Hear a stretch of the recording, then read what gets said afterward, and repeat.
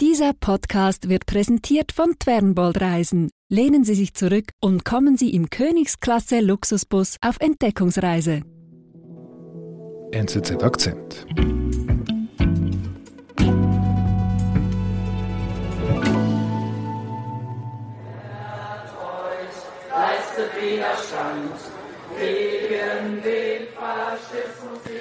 Hallo Meret. Hallo David. In Deutschland herrscht große Aufruhr. Die Recherche über ein konspiratives Treffen rechter Politiker in Potsdam treibt die Menschen auf die Straße. Ja, genau. Es gab in mehreren Städten große Demonstrationen. Und das war eine Reaktion auf eine Recherche des Kollektivs Korrektiv, mhm. die vor einigen Tagen veröffentlicht worden ist. Und die Journalisten hatten ein Treffen in einem Hotel in Potsdam observiert, mhm. bei dem es um die sogenannte Remigration geht. Mhm. Also um ein Konzept für die Rückführung von Zuwanderern. Mhm. Das ist ja nicht neu an sich, die Idee. Das hört man ja von rechtsgerichteten Politikern ja bereits seit einigen Jahren. Warum treibt es aber die Menschen auf die Straße? Ja, Korrektiv hat eben bekannt gemacht, dass bei diesem Treffen neben einigen bekannten Rechtsextremisten auch Vertreter der etablierten Politik teilgenommen haben, insbesondere Politiker der AfD. Mhm. Und die Demonstrationen sind insofern ein, ein Zeichen gegen Rechtsextremismus und gegen die AfD. Mhm. Die Idee der Remigration stammt aber gar nicht von der AfD, mhm. sondern bei diesem Treffen wurde sie vor allem von einem jungen Österreicher propagiert, der dort als Hauptredner eingeladen war, Martin Sellner. Und dieser Martin Sellner verfolgt die rechtsradikale Idee, Millionen von Ausländern zurückzuschaffen, schon seit Jahren. Wie er sein radikales Gedankengut bei rechtspopulistischen Parteien etablieren konnte, erzählt Österreich-Korrespondentin Merit Baumer. Ich bin David Vogel. Also Merit, dieser Martin Sellner, der ist in Österreich ein Begriff. Ja, also Martin Sellner kennt man gerade in den politisch interessierten Kreisen schon länger in Österreich. Mhm. Mit der Corona-Pandemie und den Maßnahmen, die in Österreich ja ziemlich streng waren, ist er als Kritiker eine sehr bekannte Figur geworden, die auch regelmäßig an, an diesen Protesten teilgenommen hat, die es eine Zeit lang fast jedes Wochenende gab. Mhm. Ich wiederhole.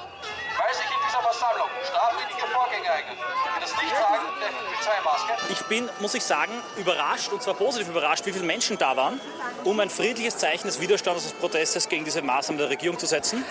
Aber froh, bekannt ist Zellner eigentlich seit Jahren als, als Rechtsextremer. Er ist 35 Jahre alt und er gilt als Kopf der identitären Bewegung, die sich selber als neurechte Gruppierung bezeichnet eine rechtsextreme Gruppierung, die nicht nur in Österreich aktiv ist, sondern auch im benachbarten Ausland und die sowohl in Deutschland wie auch in Österreich vom Verfassungsschutz beobachtet wird. Mhm. Er ist in einem Vorort von Wien aufgewachsen. Sein Vater ist ein Homöopath, die Mutter Englischlehrerin. Und er ist dann als Jugendlicher in die Neonazi-Szene gerutscht. Mhm. Er war auch bei einer antisemitischen Aktion beteiligt als 17-Jähriger. Da hat er Aufkleber mit Hakenkreuzen an eine Synagoge geklebt und wurde dafür auch verurteilt. Fand ich damals irrsinnig witzig und der Gedanke. Und Jahre später hat sich Martin Sellner auch in seinem eigenen Podcast zu dieser Tat geäußert. Mhm. Und er distanziert sich relativ klar davon und nennt das sogar niederträchtig. Ich war vor Ort, habe mich mit, den, äh, mit denen gesprochen, ich habe Sozialstunden abgeleistet und ähm, ich habe auch wirklich eingesehen, auch damals schon, sage ich auch in dem Livestream, dass das mies war. Das ist kein Akt von Politik. Das hat sind ja recht deutliche Worte. Die er da findet. Ja, das ist vielleicht überraschend, aber äh, wenn man genau hinhört, was er sagt, er macht diese Unterscheidung eine altrechte Bewegung und, und eine neurechte Bewegung. Das ist keine Form von politischer Äußerung. Eine politische Äußerung, ob links oder rechts, ist eine Demo, eine Aktion, eine Banneraktion, ein Video dieser plumpe Neonazismus, dass das auch in einem Land wie Österreich überhaupt keine Akzeptanz mehr findet und dass das eigentlich seinen Ideen schadet. Also damit wird er nicht so ernst genommen, wie wenn er so auftritt, wie er es heute tut, immer gepflegt im Ausdruck, auch im Auftritt, wie er sich kleidet. Damit wird er viel eher ernst genommen heute. Also das heißt, Martin Senne ist immer noch rechtsradikal, aber ohne diesen ganzen Neonazi-Schnickschnack. Also kann man sagen, eigentlich ein, ein, ein rechtsradikaler Intellektueller. Ja, genau. Und auf diese Weise hat er erkannt, dass er viel eher seine Ideen etablieren kann. Mhm hat das geschafft? Ja, ich würde sagen, das hat relativ gut funktioniert. Mhm. In Österreich vor allem, würde mhm. ich sagen. Einerseits mit, mit diesen klassischen äh, Straßenaktionen, also die Demonstrationen gegen die Corona-Maßnahmen. Das war etwas, wo sich äh, etablierte Parteien, insbesondere die Freiheitlichen, angeschlossen haben, beteiligt haben. Patriot Aber auch beim Thema Remigration Migration. Da hat er im Sommer letzten Jahres, haben die Identitären eine Demonstration in Wien veranstaltet, eine Remigration-Demonstration haben sie es genannt. Mhm. Und da haben sich auch die Jungfreiheitlichen zum Beispiel beteiligt. Also die Jungpartei, einer Gruppierung, die schon sehr, sehr lange in Österreichs Politik mitmischt. Mhm. Eine Frage hätte ich noch zu, zu Remigration. Was bedeutet das eigentlich? Was will er denn da eigentlich? Das macht er eben relativ geschickt. Er verwendet diesen Begriff, den man aus der Migrationsforschung kennt und einfach, es heißt, es gibt eine Migration und es gibt auch eine Remigration. Mhm. Was er aber damit meint, sind massenhafte Abschiebungen. Es gibt Leute, die das auch als Deportation bezeichnen. Mhm. Er meint damit zum einen Asylbewerber, die nicht als Flüchtlinge aufgenommen worden sind. Das ist dann wieder eine Position, die die Politik teilt, die etablierte Politik. Mhm. Aber er spricht eben auch von Menschen allgemein mit Migrationshintergrund, also sogar auch Eingebürgerte, mhm. die sich nicht kulturell assimiliert haben, so formuliert er es, dass auch solche Menschen abgeschoben werden können. Krass. Unabhängig, unparteiisch, wirklich kritisch. Aber Sellner ist nicht nur auf der Straße unterwegs. Es gelingt ihm in Österreich seine Botschaften auch in den sozialen Medien natürlich zu platzieren, aber auch im Fernsehen. Wir sagen, wir brauchen einen Stopp der Massenzuwanderung. Das wollen Sie erreichen. Und wir wollen eine Politik der Leitkultur und Remigration. Das sind unsere Ziele. Er verbreitet die Verschwörung des großen Bevölkerungsaustausches, mhm. eine rechtsextreme Verschwörungstheorie. Ist keine Theorie. Wir sagen, es findet ein Bevölkerungsaustausch statt in Österreich. Das ein ist ein absichtlicher. Fakt. Ein demografischer Wandel. Der ist nicht absichtlich, er wird zugelassen. Und damit wurde Martin Sellner in Österreich wirklich zu einer Art rechtskonservativen Intellektuellen mhm. und seine Botschaften kamen im politischen Diskurs des Landes an, mhm. weil die FPÖ ihm dafür quasi als Vehikel gedient hat und das aufgenommen hat, mhm. diese Position. Und das hat sich auch politisch ausgewirkt, weil 2017, wir erinnern uns, ist die FPÖ an die Regierung gekommen, damals unter Bundeskanzler Sebastian Kurz. Und 2018 hat die Regierung dann den Austritt aus dem UNO-Migrationspakt beschlossen, den Österreich mit ausverhandelt hatte. Das war ein unverbindliches völkerrechtliches Dokument, aber Sellner hat eine Kampagne dagegen gemacht, die Identitären, und die FPÖ ist dann darauf ausgesprungen und die Regierung ist unter diesem Druck aus dem UNO-Migrationspakt ausgestiegen. Wir sind gleich zurück. Was viele nicht wissen, der Bus gehört zu den nachhaltigsten Verkehrsmitteln überhaupt. Wer auf Busreisen setzt, reist ökologisch sinnvoll. Der führende Schweizer Spezialist Fernbold leistet sich modernste Reisebusse, die im Betrieb höchst sparsam sind. Und die geringen CO2-Emissionen, die unterwegs anfallen, werden komplett kompensiert. So reisen Sie mit Fernbold 100% klimaneutral.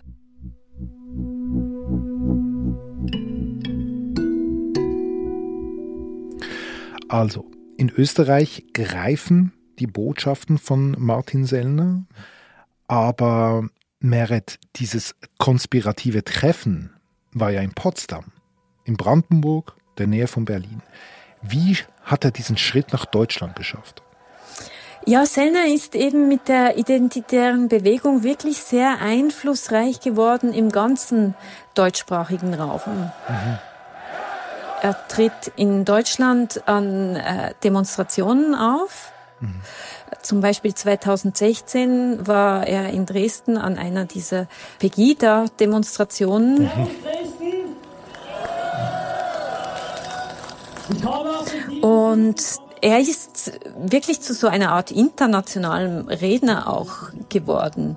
We have to learn from our enemies, we have to become active and especially we have to understand bei einem Auftritt vor belgischen Burschenschaftern denkt er laut darüber nach, wie man diese Ideen in, in die Institutionen bringt.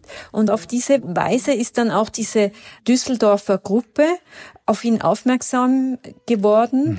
deren Ziel es laut der Recherche von Korrektiv war, Geld zusammen für migrationskritische Anliegen. Mhm. Und Sie haben Zellner dann als Referenten eingeladen für Ihr Treffen in Potsdam Ende November letzten Jahres. Ach so, jetzt schließt sich der Kreis. Genau. Dieses Treffen hat dann stattgefunden im Landhaus Adlon, einem Hotel in Potsdam. Und mhm. es soll nicht bekannt werden. Also die Kommunikation mit den Gästen erfolgt nur per Brief. Es soll nichts elektronisch ausgetauscht werden. Und Martin Sellner soll dort sein Konzept zur Remigration, über das er schon oft geschrieben hat, auch ein Buch geschrieben hat, präsentieren. Und es kommen eben einige bekanntere Politiker, vor allem von der AfD. Es ist zum Beispiel Roland Hartwig dabei, das ist die, die rechte Hand von Alice Weidel, also der Co-Parteichefin. Und es sind auch Mitglieder der Werteunion anwesend. Das ist so eine rechtskonservative Gruppierung innerhalb der CDU. Hm. Wie weiß man denn das so genau? Also wie hat das Korrektiv denn überhaupt das herausgefunden? Die haben einen Journalisten eingeschleust, der dann mit versteckter Kamera gefilmt hat und das dokumentiert hat. Und das Hauptthema der Veranstaltung ist laut Korrektiv wirklich dieser Plan, wie man das umsetzen kann, Zuwanderer abzuschieben. Mhm. Und Anfang Januar haben sie das dann publiziert, ihre Recherche. Mhm. Ein Bericht über ein geheimes Treffen von AfD-Politikern. Hochrangige AfD-Politiker denken darüber nach, wie Millionen Migrantinnen und Migranten und sogar unliebsame Deutsche ausgeschafft werden. Die Publikation dieser Recherche schlägt in Deutschland, ich glaube, man kann das sagen, wirklich wie eine Bombe ein. Es ist eine äh, wirklich große Empörung, eine breite Empörung. Und es distanzieren sich alle politischen Parteien davon. Mhm. Der Bundeskanzler äußert sich dazu und erinnert an die dunkelsten Stunden der deutschen Geschichte. Mhm. Ja, die Reaktionen sind entsetzt und auch die äh, AfD-Co-Chefin Alice Weidel beendet die Zusammenarbeit mit ihrem Mitarbeiter mit Roland Hartwig. Hm. Jetzt, was machen wir mit dieser Empörung. Also wir wissen, wer dabei war. Wir wissen, äh, dass es Exponenten gibt innerhalb der AfD, die die Sympathie haben für die Ideologie von Martin Sellner. Nur seine Idee ist ja, dass die Ideologie, die er propagiert, dass die sich etabliert bei den rechtspopulistischen Parteien. Und das ist ja geschehen, egal ob wir jetzt davon wissen oder nicht. Ja, also das würde ich auch so sehen. Er hat eben sein Ziel eigentlich erreicht. Das schreibt er auch in, in einem dieser Aufsätze für so ein, eine rechte äh, Publikation. Und Herbert Kickel, der FPÖ-Chef, wurde in einem ORF-Interview jetzt dieser Tage danach gefragt und hat das Konzept im Prinzip verteidigt. Was verstehen Sie unter Remigration? Und hätte man uns zugehört, anstatt uns zu verteufeln, dann bräuchten wir heute über viele Probleme nicht reden. Und auch den Kontakt, den es gibt zur identitären Bewegung, hat sich nicht distanziert. Mhm. Er nennt die Identitären eine rechte NGO, also verharmlosend, weil, weil die werden in Österreich und in Deutschland vom Verfassungsschutz beobachtet. Und ähm, Kickel ist der Favorit für die Nationalratswahl, die spätestens im Herbst in Österreich stattfinden wird. Aber wenn er jetzt so offen eine gewisse Sympathie zeigt für die Ideologie von, von Sellner, das wird ihm doch schaden. Ja, das ist eben die große Frage. Da gibt es einige Experten, die sagen, dass das jetzt so ein breites Thema ist, diese sogenannte Remigration, dass das eigentlich diesen Parteien eher hilft, weil es einen Teil in der Bevölkerung gibt, die mit dieser Idee sympathisieren und massenhafte Abschiebungen als einen Teil zur, zur Lösung des Problems sehen. Und das heißt, der Martin Senner kann sich eigentlich im Moment die Hände reiben. Ähm, wahrscheinlich muss man das so sagen. Also so prominent wie gerade jetzt war er sicherlich noch nie.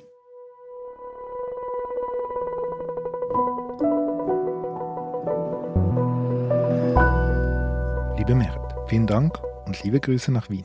Danke dir, David.